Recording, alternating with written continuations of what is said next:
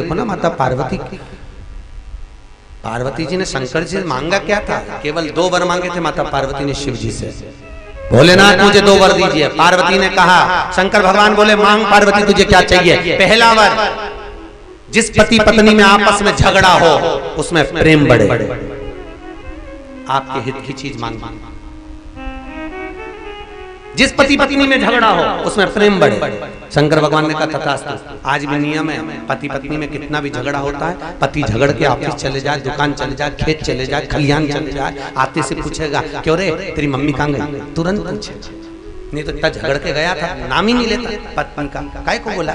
पर नहीं, शंकर जी का वर है, पति पत्नी में अगर झगड़ा होगा तो उनमें प्रेम बढ़ेगा।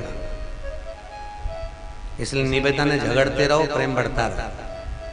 और जिस पति पत्नी में झगड़ा नहीं होता उसमें आखिरी में ऐसा होता कि अदालत में बात पहुँच जाती है। इसलिए थोड़ा थोड़ा लड़ते रहो। चले। पर ज़्यादा नहीं। थोड़ा। थोड़े से प्रेम बढ़ता है। महाराज। फिर पार्वती जी ने कहा मुझे दूसरा वर चाहिए शंकर भगवान ने बोला मांगो क्या चाहिए? और पार्वती ने जितने वर मांगे खुद के लिए नहीं मांगे। मुझे दूसरा वर दीजिए। भगवान ने कहा क्या वर चाहिए? पार्वती कहती है मुझे दूसरा वर दो कि काशी में अगर कोई मरेगा तो उसको गुरु मंत्र आपको देना पड़ेगा।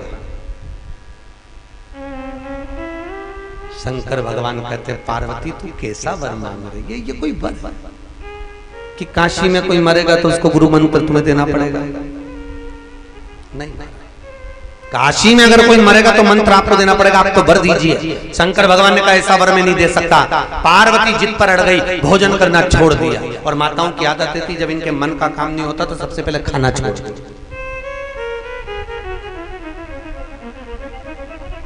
क्योंकि इनको मालूम है, ऐसे तो मैं डाइटिंग कभी कर ही नहीं सकती तो झगड़ के डाइटिंग कर माताओं क्या भोजन छोड़ा। शंकर भगवान को अच्छा नहीं लगा। पत्नी अगर भोजन नहीं करे धर्म पत्नी अगर भोजन नहीं करे तो पति को भी भोजन नहीं भाता सा वो भी पार्वती पार्वती कहती मेरा दूसरा वर। काशी में अगर कोई मरेगा तो गुरु मंत्र आपको देना पड़ेगा। शंकर भगवान बोले तथास्तु। पार्वती जी बोलती हैं ठीक है भोलेनाथ आप भर तो आप गुरु मंत्र तो दे दोगे काशी में मरने वाले को, पर मुझे कैसे मालूम पड़ेगा कि आपने गुरु मंत्र दिया? शंकर भगवान बोले, तू बता क्या चाहती है? पार्वती कहती है, मुझे दूसरा बर ऐसा चाहिए कि काशी में मरने वाले के सीधे कान में आप मंत्र देना और मंत्र देकर कान को मोड़ देना तो मुझे समझ में आ जाएगा कि आपने गुरु मंत्र दे दिया।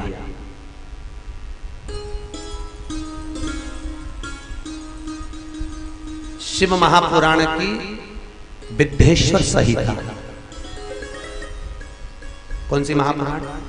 शिव महापुराण की विद्धेश्वर संहिता और एक काशी मरण मुक्ति एक किताब। ये दो पुस्तक, एक पुराण, एक पुस्तक दोनों को पढ़ना। दोनों में लिखा हुआ है, काशी में मरने वाले का सीधा कान अपने आप टेढ़ा हो जाता है। अपने पहले हमको भी विश्वास नहीं था। हमने कहा पुराण में लिखा हुआ है पर विश्वास कैसे करें आज के जमाने में कि काशी में मरने वाले का सीधा कान टेढ़ा हो जाए? जब हम लोग काशी कथा करने गए बासवी महिला मंडल कर्नाटक की ने महेश्वरी भवन काशी में कथा करवाई।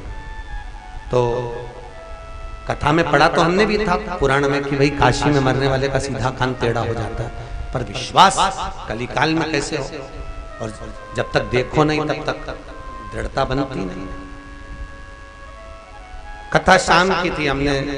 सुबेरे हम मणिकर्णिका पहुँच। गए और मणिकर्णिका पर भारत की भूमि के सबसे ज़्यादा मुर्दे अगर कहीं जलते हैं तो काशी में जलते हैं। अपने यहाँ पर गाड़ियाँ ओवरटेक करती हैं मुर्दे ओवरटेक करते हैं। भारत की भूमि के सबसे ज़्यादा मुर्दे जलते हैं काशी। मणिकर्णिका पर भीड़ लगी हुई थी मुर्दों लाइन लगी हुई थी। हमने सोचा देखें तो देखें कैसे ये क्या बोले। तो हमने भैया, हमको इनका मुँह देखना है। उन्होंने कहा आपके रिश्तेदार हैं अब हमने सोचा, ऊपर जाके तो सभी रिश्तेदार हो। भैया, रिश्तेदार? देख लो। मुँह खोल कर देखा तो उसके तो दोनों कान सीधे थे। अब मन में आया, पुराण में लिखा हुआ है कि सीधा कान टेढ़ा हो जाता है। काशी मरण मुक्ति पुस्तक में भी लिखा है कि सीधा कान टेढ़ा हो जाता है। यहाँ तो कान सीधा। हमने कहा चलो एक आध और देखें और दूसरा मुर्दा देखा उसका भी कान सीधा था टेढ़ा था। तीसरा देखा उसका कान भी सीधा था। देखते देखते छह सात मुर्दे देखे सबके कान सीधे थे। आठवें नंबर पर जब हम पहुँचे एक साइड में मुर्दा रखा हुआ था अर्थी पे बंधा हुआ उसका कान देखा तो टेढ़ा था। तो हमारे मन में आया हो सकता है जन्म से टेढ़ा ये भी तो हो सकता है कोई कोई कोई के बच्चे ऐसे पैदा होते हैं जिनका कान आड़ा टेढ़ा विश्वास फिर एक मुर्दा देखा उसका कान सीधा था। फिर दूसरा देखा तो उसका कान टेढ़ा। फिर एक और देखा तो उसका कान टेढ़ा था। तो पूछा ये जो मुर्दा है जिसका कान सीधा था उसका पूछा ये कहाँ का है? तो कहा ये काशी से 40 किलोमीटर दूर का। है जिसके सीधे कान से उससे पूछा ये कहाँ का है? तो बत्तीस किलोमीटर दूर का। जिसका कान टेढ़ा था उसका पूछा ये कहाँ का है? तो के काशी की ये वाली कॉलोनी का है। तब समझ में आया कि शिव महापुराण में जो लिखा वो असत्य नहीं है। काशी में मरने वाले का सीधा कान अपने आप टेढ़ा हो जाता है। भगवान शंकर गुरु मंत्र देकर कान को टेढ़ा कर देते हैं। इसलिए काशी को अभिमुक्त नगरी कहा गया। कौन सी नगरी है? अभिमुक्त। मोक्ष अभिमुक्त नगरी जहाँ मरने वाले को सीधे स्वर्ग की अनुभूति मृत्यु लोक में दूसरा जन्म नहीं होता मृत्यु लोक में दूसरी बार पैदा ही नहीं होता। मोक्ष जाता अभिमुक्त नगरी है काशी। पूरी पृथ्वी नष्ट हो जाती है। अगर रह जाती है तो केवल काशी रह जाती है। सतयुग में भी काशी थी त्रेता में भी काशी थी द्वापर में भी काशी थी कलयुग में भी काशी और पूरी पृथ्वी नष्ट होती है काशी जथा तथा रह जाती है मोक्ष मोक्ष